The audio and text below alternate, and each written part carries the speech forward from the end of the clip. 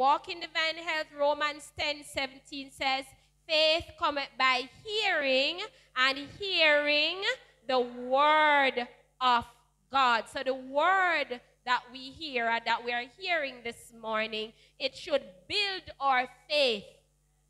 That if we feel any little thing weird, and brethren, we shouldn't wait. That's it. As children of God, we should not be reactive.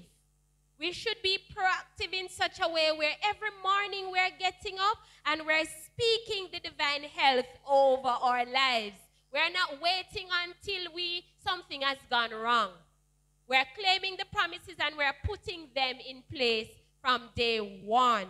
And um, chapter 12 and verse 2, we know that it says, Present your bodies as a living sacrifice unto God, holy and acceptable unto Him. And it says, It is our reasonable service. So, this temple, submit this, give it back to the manufacturer and the man and say, manufacturer, sort me out, fix me up. Put me under the x-ray machine. Because guess what? I may think that I am healthy, nothing is wrong with me, God, but you know I'm presenting myself to you, Dr. Jesus. Fix me, Lord. Praise God. Sometimes, brethren, when we go into God, man, we don't need to go to Him and say, God, give me, give me, give me, give me, give me, give me. No, man. Just talk to him and say, Father, you are a doctor. Look at me. Go through my body, God. Take out the things that are not of you and fix me right. We are too, I'm not saying the natural things are not good, but we are so consumed with asking God for the natural things that we don't remember that there are other things. God, teach me how to live in communion with every man it is not, I can say from me, it is not easy to live with some people, brethren. It doesn't matter what you do, they just try to get you upset. So pray. We need to pray and ask the Holy Spirit, God, grant me the understanding that even though this person is not so easy to live with, God, I want to be healthy. Teach me how to be able to remain in a relationship. I have to be here in the space with the person. So teach me how to, so we can have an amicable relationship. So we walk in divine health when we yield to God and we have a singleness of heart. Yes, yielding to God's word, having that singleness of heart, putting by putting into practice that which He says and of course, yielding to the natural things that we are to do. If an individual abuses their body through neglect and overwork, and I believe all of us here, we are guilty to this one. We overwork our bodies, we neglect the things that we do need to do, all the while believing for divine health. Are they really standing on the word of God? No, right off the bat, no we are walking in folly. Why or why not? So why is it that the person that abused, why did you say no, Sister Dose?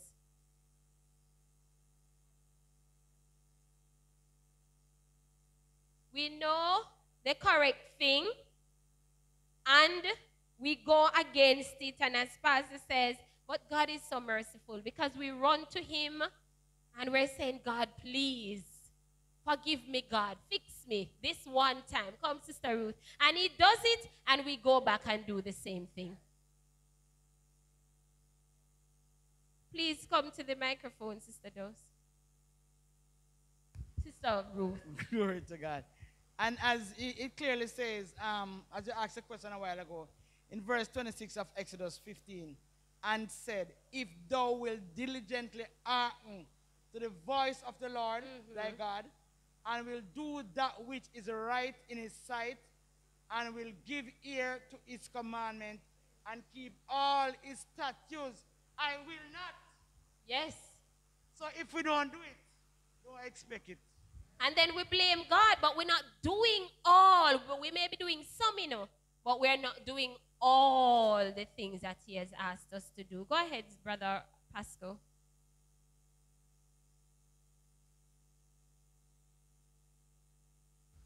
Uh, happy Sabbath, everyone. Happy Sabbath.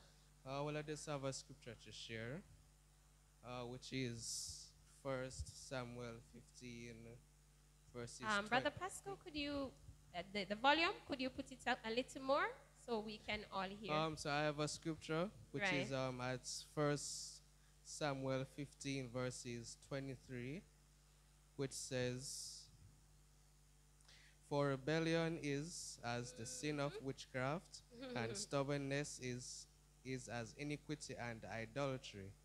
Because, because thou hast rejected the word of the Lord, he hath also rejected thee from being king. So, Wow.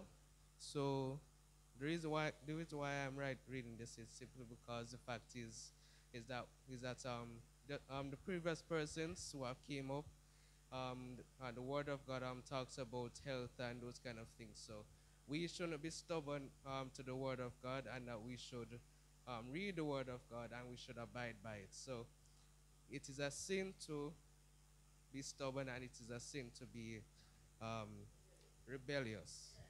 Praise his name. Thank you so much, Brother Pascal, for that scripture. I've known that scripture for so many years, and I've never applied it to divine health. I've never looked at it that I, if I'm not doing the things where health is concerned, I'm being rebellious. Thank you, my brother, for, for that, for opening our eyes. What provisions has God made for every believer to walk in divine health? We know what Isaiah 53, verse 5 says. By his stripes we are he's spoiled, brethren. What else do we want Jesus, God, to do? He sent his son. He allowed his son to bear our sins according to the memory verse on the cross. And we are still not doing. Boy, we're wicked to God and Jesus. That's what I will say, and I will include myself. We are wicked to Him because He has done it all. And all He says is that walk, claim it, receive it as your own, and you shall. Brother, um, you have your hand up. Go ahead. Please come to the microphone.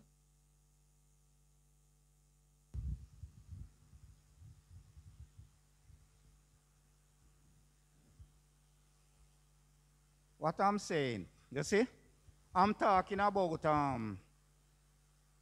You're talking about um, walking the presence of God. I have something inside of me that God put inside of me right now. God speak to me and tell me that this the, the, the, the, the, the, the, the, the, spirit that I dwell inside of, that I put inside of you, is the spirit that raised the dead. Sometimes I feel sick in my body. I feel pain. And I just walk and I just use the word. I am healed in the name of Jesus. No sickness take over this temple. It belongs to God. And when I use the word, I get healing. Amen. Every time when I born, I am 60 year old and I don't sicky sicky. Anytime I feel pain, I just use the word and I get healing. So I just believe, I just stand on what God said, the life that we are supposed to live. And if you stand on the word of God, God ready to take you out of that situation. That Um, is what we are saying. We need to stand for righteousness. No sickness can devour this man. I'm going to say something to you. I don't, I don't say nothing. You, yes, what I'm saying to you. I can remember one day God speak to me. I buy a mask to put on. And the Holy Spirit said, no, no, no, don't put it on. Don't, but don't put on on. Go through hurt. I want them to know who me is. And I don't wear it. I come into church, me have to put it on. If I go into business place, I'm a pain. Some, no, no, no. It's Mr. Brown, he's a man of God. Make him go on. Where's the mask? I don't have any. Go on in, go on in, go on in. Because God speak to me. Policeman are whole people are throwing a choke. And me just stand up and just pass him. They just look so. You cannot touch the man of God. God give me a something to carry out. You cannot touch the man of God. I believe that. No sickness can devour me. No sickness. And I stand on that word because God tell me. And I believe what God say. Amen. Let me say something to you. Down at my workplace there. I go down there. Manager called me upstairs. Mr. Brown, I want to speak to you. And I go up there. Um, boss, where is your mask? In my pocket. You know, suppose in your pocket, get it on, because you have to go take the vaccine. Can I speak to you, boss? Me have vaccine, no companion. God belongs to me. God angels surround me. No sickness can devour me. The boss said to me, then if God exists, why people are dead? I feel it to my heart. How we are talk to my God? Me grow on the back and go sit down and me pray me say, God, something wrong here, so me not supposed to die here, so. God said to me, say, look here, step out, leave them. The lady said to me, say, all right, you lose the work. God, I go provide job for you. Why me left there so? All when me done one job, God says he more there. Me not run out of job. Them no have no behavior. My God will save me. And you are going to tell, I go, go against God. When you go against God, you go against me. We represent God and God represent me. I'm standing for righteousness. And I step out. And when you step out the yard, phone call, Mr. Brown, can you go and take up a test and come back to the work? I know me no answer. I don't need it. God said don't go back there. Don't take none. And I just step out and leave them. I believe in a God word. Once you stand on God word, you can't suffer.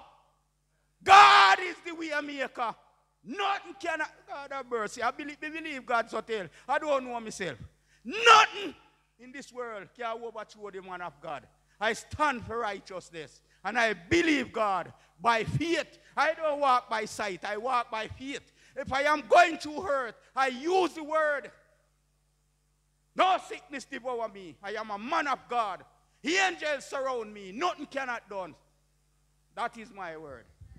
Praise the Lord. Uh, how old you said you are, Brother Brown? 60 something? Brother Brown? Oh, how old? are- You look good, my brother. He's 60 plus. He looks good, I must say. Brother Brown, you look good. Keep it up. Keep it up. And he's active. Brother, brethren, you see, he's an active man. But I want to, as we go on, brethren, I want us to I want to remind us that even though we obey the law of the land, it's not saying we don't believe the word of God. All right? So we that let's put that out there. We must obey the law of the land because that's we as children of God, we show the earth that God is in control by our obedience. Uh, so, final question, and I, I, I'm not going to answer this question. I want us to ponder it, and I want us to engage the Holy Spirit, that the Holy Spirit will show us if, we, if there's something we need to fix. The question says, How are we instructed to properly care for our bodies? We have learned that this morning. Are we, and I'm putting myself in it, the compiler said you, but I'm saying we. Are we robbing God of glory by not taking care of our temple? I'm repeating. Question Facebook, YouTube, congregation. Are we robbing God of his glory by not taking care of our bodies? If we, we are, it's a resounding yes. All of us, we need to repent and we need to say, God, help me to make a fresh start. Do have an awesome day. And as of today, I pray that we will start seeing some changes in the lives of those who are here and those who are listening. Do have a great Sabbath. Yes.